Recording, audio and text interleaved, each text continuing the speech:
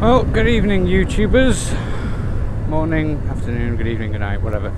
Um, first off and foremost, a massive, huge shout out to my wee man, my little son, Kieran, who is by far the most awesome guy I know.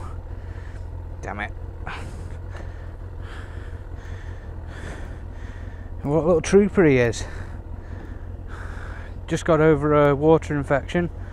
Was actually rather nasty. Um, I only saw the beginnings of it, but little bugger suffered a bit.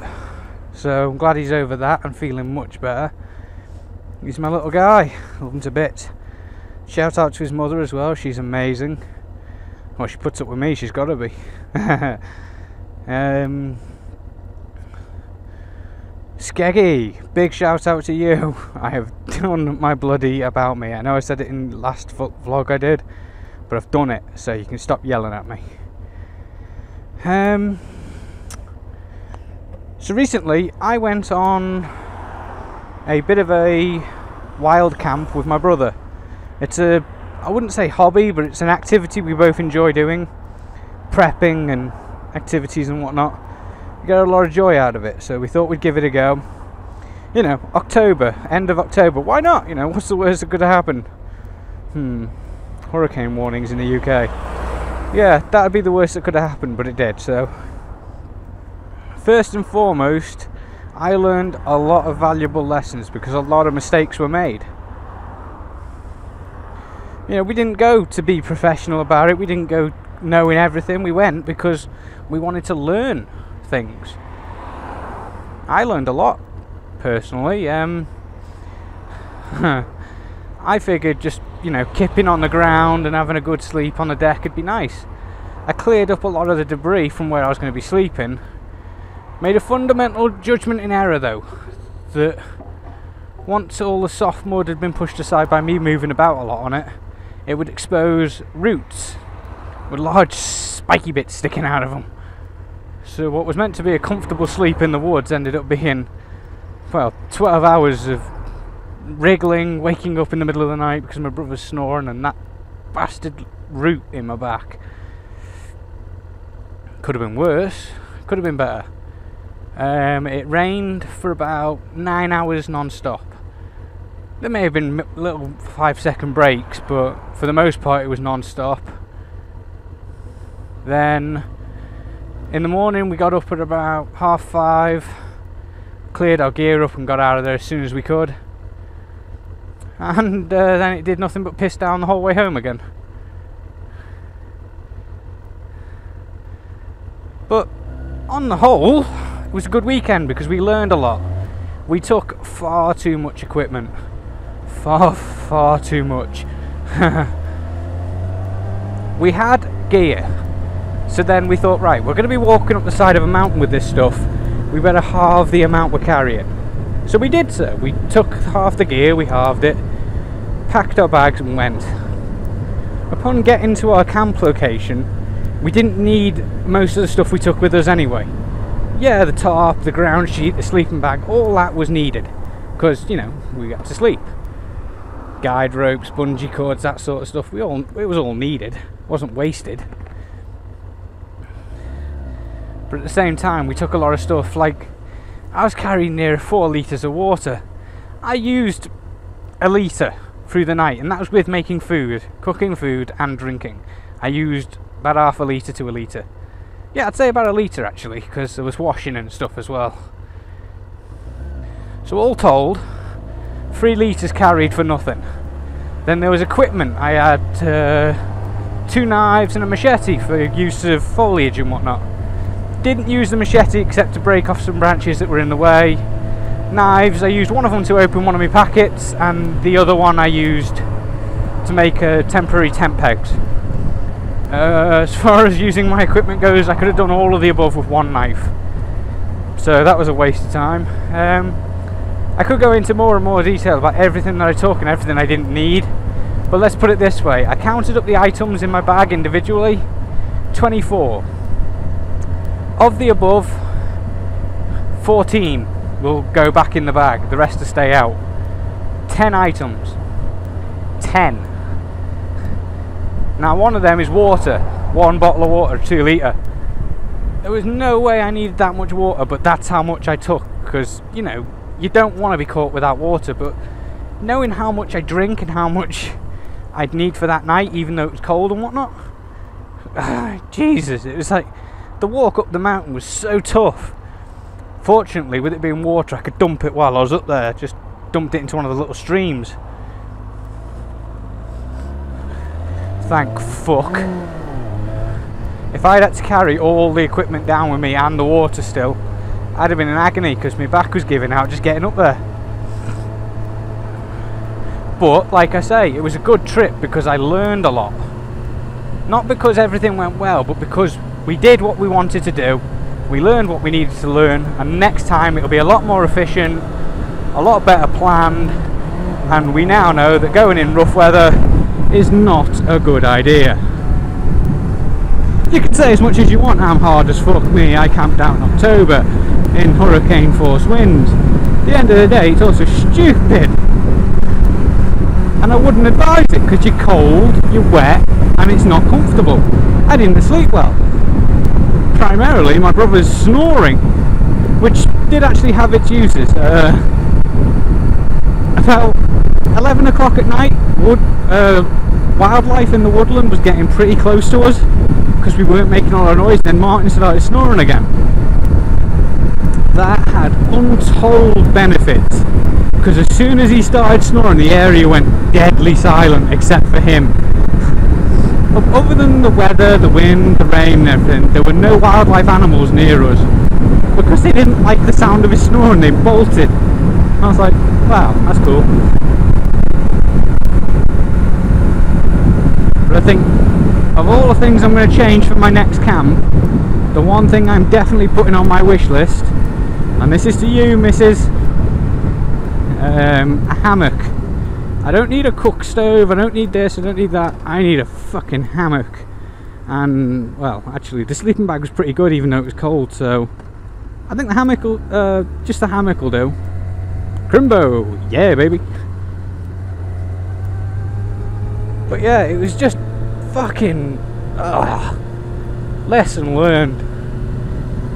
We did Snowdon when it was well covered in snow, which wasn't advisable. We went off the chosen route, which was stupid. We ended up climbing a rock face, and then now we've done this one where we've gone up in October when there's been severe weather warnings. You know, you're pushing your luck basically every time you go out with me and my brother, but we're not idiots to the extent that we'd hurt ourselves or endanger ourselves. We just get on with it. So yeah, lesson learned on that one. Oh come on. It's not raining that bad. Yet.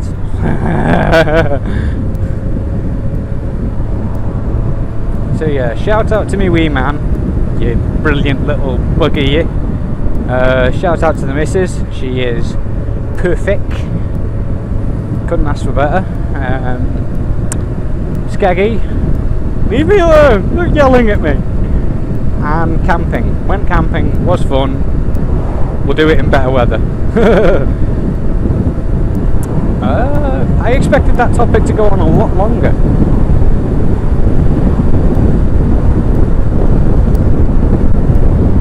Oh shit. Please break, motherfuckers.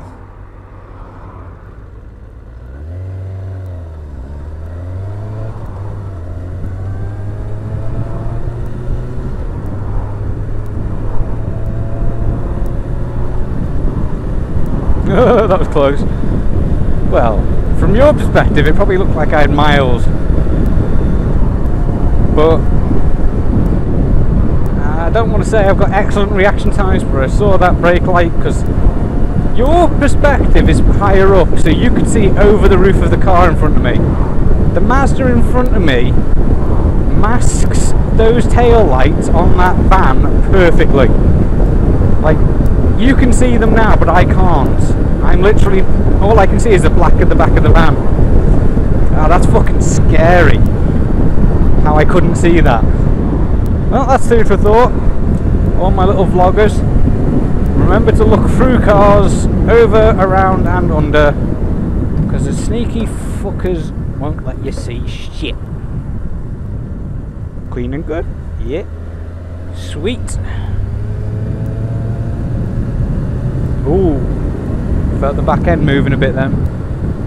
No, no, no, no, no, no, no, no, no, no, no, no, too fast. There we go. Ah, it's a mixture of wet and dry roads at the moment, so I don't want to push me luck. But at the same time, there's a part of me that goes, yeah! There's also a part of me that goes, I can't fucking see because I'm a car. Ow. Ah. That was blinding. And I've got a white spot in the middle of my fucking vision. it's all good. oh. Here we go again. Du- du- du- oh, oh, oh,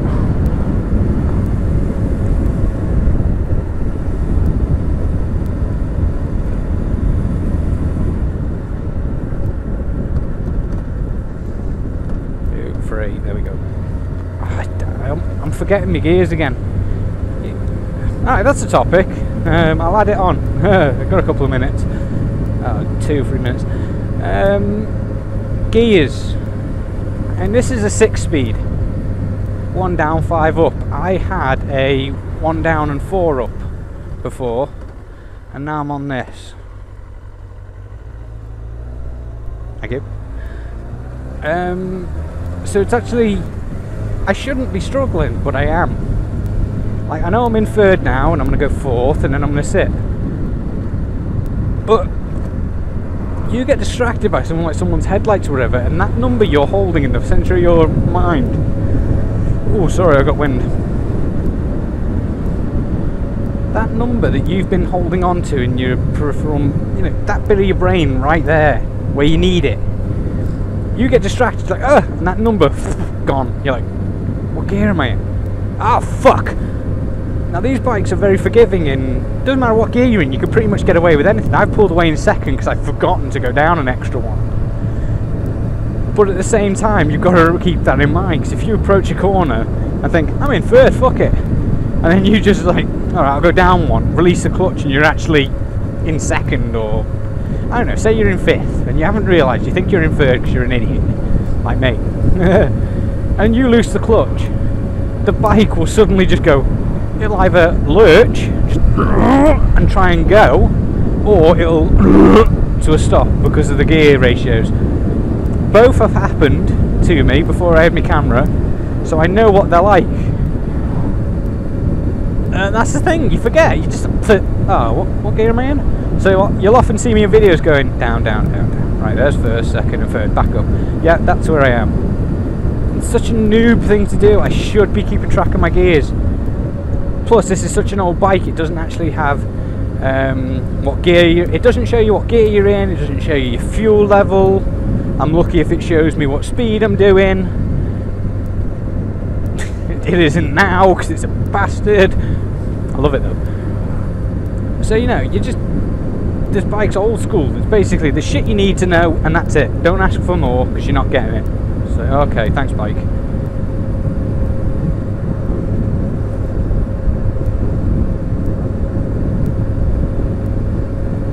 So yeah, you just you know. Well, anyway, like and subscribe. Uh, oh, and yeah, big shout out to all of my subscribers, all 11 of you beautiful people. Thank you. You make my life worth living. yeah, so like, subscribe, and recommend me, so I don't have to kill myself.